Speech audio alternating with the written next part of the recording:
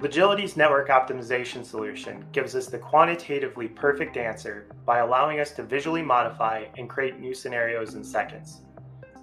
This allows us to balance our clients' questions and not have to miss a decision making window by engaging in a data hunt.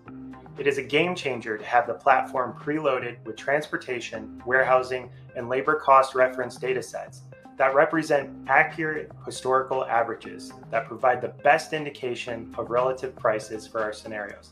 Thus, we are seeing a three and a half times faster model build as related to our analyst productivity.